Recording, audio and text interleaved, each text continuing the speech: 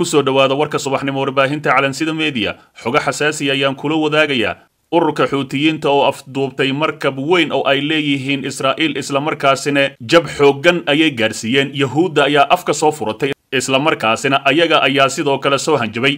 Ra'iisul wasaaraha airelan ayaa dhegta dhiigga u diray midowda yurub iyo maraykanka ee garabka siinaya yahuudda. Fadeexad culus ayaa soo baxday islamarkaasina israa'iil ayaa shacabkeeda iska laaysay afar kun oo israa'iiliyiin ah ayaa duqaysay helikobter ay leeyihiin yahuudda.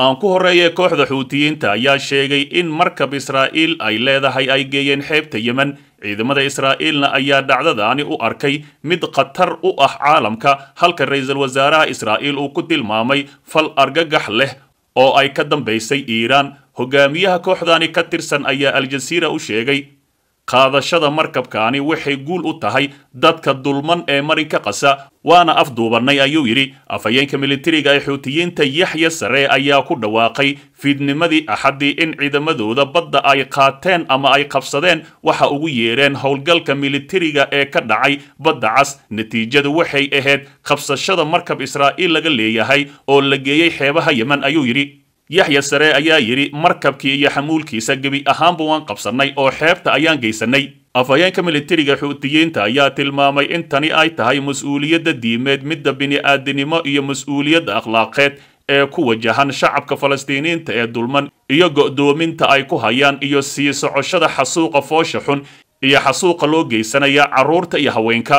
Dhankooda ciidamada yahuudda ayaa sheegay in afduubka markabkaasi xamuulka ahi ee xuutiyiinta ay ku qafaasheen meel u dhow yemen koonfurta badda cas ay tahay dhacdo aad khatar u ah caalamka oo dhanna inay arkaan ayaa loo baahan yahay. Isagoo sharaxaya markabkii la afduubtay ayaa ka ambabaxay turkiga isagoo ku sii jeeday hindiya. Shaqaale rayid ah oo caalami ah ayaa saarnaay ma aysan sheegin in markabkaasi shaqaale yahuuda ay saarnaayeen ra'iisul wasaaraha israa'iil ayaa afduubka markabka ku tilmaamay fal argagax leh oo iiraan ay ka dambaysay isagoo xusay in afduubka markabka ay abuuri doonto saamayn caalami ah oo la xidhiirta ammaanka marinada maraakiibta ee caalamka. Wuxuu intaasi ku daray la socoshada fal argagaxiso oo cusub oo iiraan ahi ayaa loo arkaa mid sii xumaanaya oo ka dhan ah muwaadiniintooda dunida xorta ahi ku sugan wariye aljasiira ayaa soo sheegay in maamulka israa'iil xaqiijiyeen in markabka laga afduubtay badda cas uu leeyahay ganacsade israa'iil ahi halka warbaahin yahuud ay leedahay ka soo xigatay ilo israa'iil ka tirsan in xuutiyiinta ay weerareen markabka qayb ahaan ay leedahay shirkad israa'iil laga leeyahay oo ay la wareegeen gacan ku-haynta markabkaasi ururka xuutiyiinta wakaaladda wararka ee a b ayaa soo xiganaysa saraakiisha maraykanka ayaa xaqiijiyay in xuutiyiinta ay qabsadeen markabka. Hogaamiyaha xuutiyiinta ayaa hadda ka hor digniin xooggan siiyey maraakiibta ku safraysa badda cas. Dhinaca kale ra'iisul wasaaraha airelan wuxuu dhaleeceeyey reer galbeedka. Laba weji ayay leeyihiin ayuu yidhi.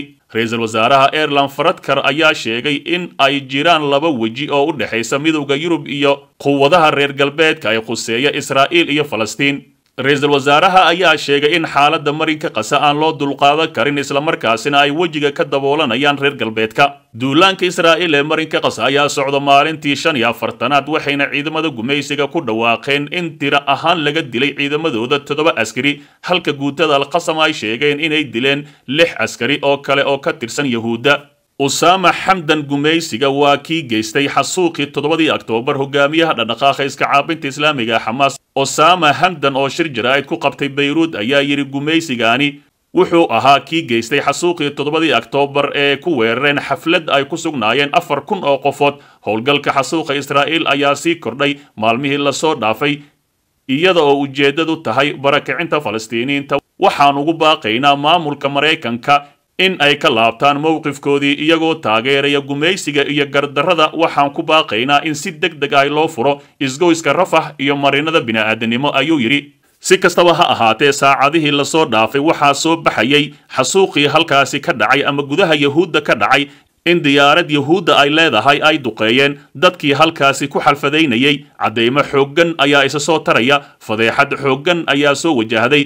Maamulka ra'iisul wasaaraha dalkaasi shacabka reer israa'iil ayaa iminka waaga uu ku bariyey dadkii halkaasi dusha loo saaray. Guutada alqasam waxaa laayay ciidamadooda ee yahuudda ahi fadlan dib u daaw wararkeenii hore ee calansida meediya ku soo dhowaada wararkii ugu dambeeyey warbaahinta calansida meediya xogo xasaasiya ayaan kula wadaagayaa. Cabdiraxmaan cabdishakuur warsame miyaa noqday mucaaradnimo cusub islamarkaasina weerar cusub ayuu ku qaaday madaxweyne xasan sheekh maxamuud. Toosh weyn ayuu ku iftiiniyey. Damaca uu damacsan yahay xasan sheekh maxamuud. Magaalada garowe oo la circiiraysa ciidamo iska soo horjeeda waa siciidani ciidamo daawacsan iyo mucaaradka ayaa halkaasi laga cabsi qabaa in ay ku dagaalamaan shacabka ku nool magaalada garowe ayaa cabsi xoogan soo wajahday. Aan ku horreeya xildhibaan cabdiraxmaan cabdishakuur warsame oo haatan ah ergeyga gaarka ah ee madaxweynaha soomaaliya u qaabilsan arrimaha bini'aadanimada ayaa duray arrin muddooyinkii dambe si weyn ugu dheganaa madaxweynaha dalka xasan sheekh maxamuud oo ilaa iminka la daalaadhacaya arrimo siyaasadeed oo xoog badan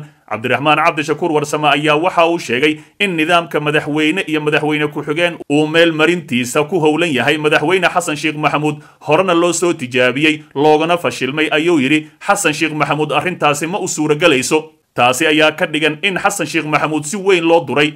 Cabdiraxmaan cabdishakuur warsame mucaarad cusub miyuu noqday. Madaxweyne xasan sheekh maxamuud ayaa dhowaan hadal uu ka jeediyey masaajidka madaxtooyada wuxuu ku adkaystay heshiiska golaha wadatashiga qarankaasi oo dhigaya in laba xisbi oo keliya dalka laga dhiso lana bedelo nidaamka baarlamaaniga ah ee hadda soomaaliya ka shaqeeya. Xildhibaan cabdiraxmaan cabdishakuur warsame ayaa qoraal uu soo dhigay bartiisa facebookga ugu hadlay dowladihii soo maray soomaaliya iyo nidaamkoodii waxaana muuqata in arrintaani ay si weyn u kala aragti duwan yihiin madaxweynaha iyo ergegiisa.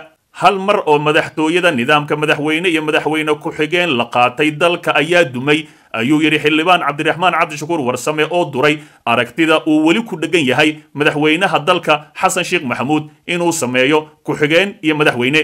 Saddex qodob ayuu soo qaatay. Xildhibaan cabdiraxmaan cabdishakuur warsame waxa uu yidhi tii koowaad ee dimuqraadiga ahayd nidaamka xukunka wuxuu ahaa baarlamaani waxaa afgembiyey askarta.